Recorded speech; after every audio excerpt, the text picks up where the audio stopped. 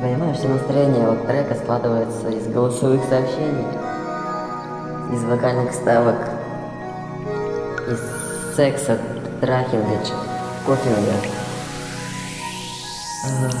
Вот и вся грудь, это вся эмоция. Человек слушает, понимаешь, что, блядь, кому-то реально плохо.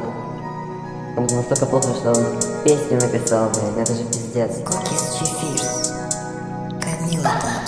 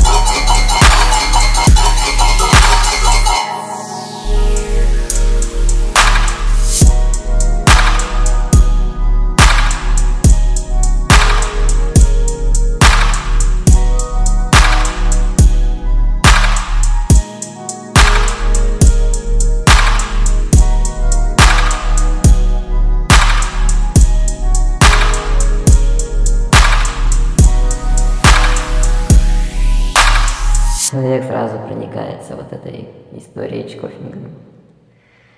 И ну, тоже становится грустно. Это цепочка ебаная.